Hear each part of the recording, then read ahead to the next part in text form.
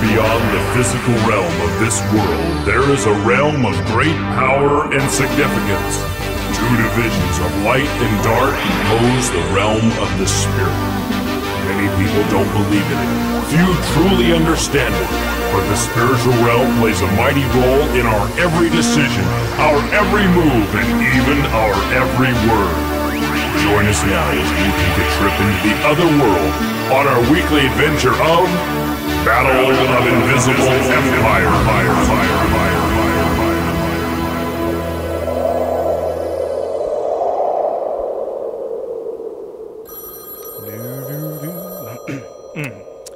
Hello, Front Desk Angel. Yeah, uh, Revelation Prophecy, Chapter 13, Belgian Division. Yeah, yeah, I left a message earlier. Uh, thanks for calling. How's that computer coming that we ordered? Great, great. All ready to go, huh? Now, you guys sure that it can handle every single financial transaction in the world? Well, it's got to be set up, uh, let's see, that, that no man might buy or sell, save that he that have the mark or the name of the beast or the number of his name. Okay, okay, that's great. Now, the Bible says the number is 666. Now, how are we going to do that? You can't give everybody the same number. Oh, oh, yeah, I see. Three sets of six digits, huh? Perfect. Well, keep up the good work, and I'll get back to you. Okay. When the saints. Uh, yeah, Mark of the Beast Department, Front Desk Angel. Yeah, I just talked to Belgium. That computer's all set. Now we got to have that mark. What's going on? No, no, no. A card won't do. The Bible specifically states a mark on the right hand or forehead. Oh, oh yeah, yeah, I see, I see. So you can't lose your card. People will want the mark. Great, great. Now, uh, have you guys decided how you're going to put it on? A tattoo or what? A laser beam or ultraviolet ray? Okay, as soon as you decide, you get back to me. Okay, God bless you. Hi, hi, Chief. Oh, uh, Welford, what are you doing here? It's your day off, isn't it? I know. I just dropped in because I got a flight lesson today. I, I get to go solo. Oh, great, great.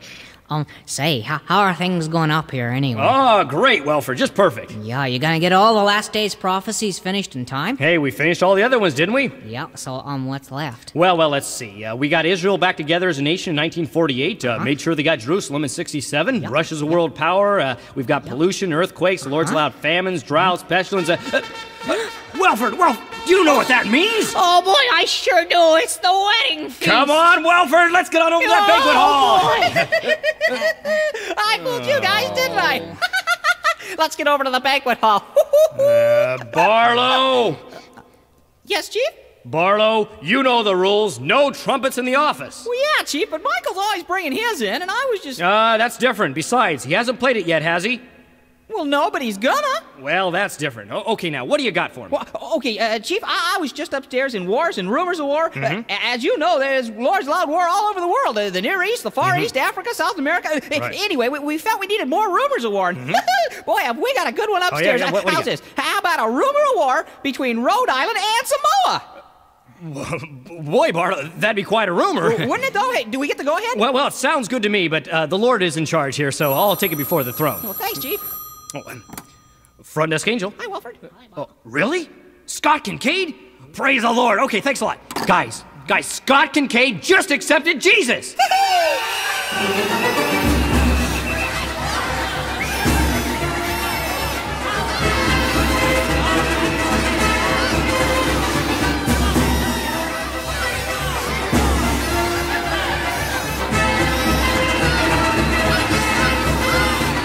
Okay, okay, back to work. Um, um, Chief, whatever happened to my suggestion about Puerto Rico joining the World Confederacy? Well, Welford, you know, the Bible calls for a 10 nation confederacy that needs to come together as a world power. Yep. Now, at the time, we had nine nations in the European common market, so we needed one more. Well, Angel Henderson suggested Greece, and it's working out perfectly. You know, being that it's in Europe and bordering Italy, it just sets the stage for a world government centered in Rome. Hey, hey we appreciate the idea of Puerto Rico, but it just wasn't what the Lord had in mind. Uh, front desk Angel. Uh, I don't know, prophecy, I guess. Oh, boy, that, that's a toughie. Oh, I, I hadn't thought of that. Okay. Uh, okay, I'll get a couple angels on it right away. Okay, thanks a lot. Oh, let's see. Now I'm gonna need a couple angels I can really depend on. Two of my best. Who am I gonna get? Let's see. Uh, uh, oh no, not not you two. Uh, well, well, okay, okay. Here, here's the scoop. Someone down in prophecy just noticed that right after the Russian-Israeli war, the weapons have to burn for seven years. Yeah, so? Barlow, have you ever tried to put a tank on fire? Well, no, Chief, it's silly. That'd be impossible. You can flick your Bic under that baby all day, never light it up. That's right. Now get the picture. We gotta find a way of burning those weapons. Let's make them out of wood. Wood. Uh, well, that's really silly. Wood it never work. You can't make tanks and trucks out of two by fours. Could you, Chief? Well, I don't know. What do you mean, Welford? Um, uh, well, in Norway, um, they're making compressed wood now that's as strong as metal, and we can make them out of that. Great idea, Welford. Yeah, Yeah. yeah, then their weapons would burn. Yeah. Come on, let's get to prophecy and see about setting this thing up. Oh boy! Oh, hey, hey, you guys, wait up! Uh, oh. Hey, wait a minute. what an opportunity. Hello, uh, personnel? Uh, this is the front desk, Angel. Uh, uh, I'd like to put in for promotion for an Angel Barlow. Yeah, Barlow, that's B A R L O. Just kidding, Lord! Just kidding!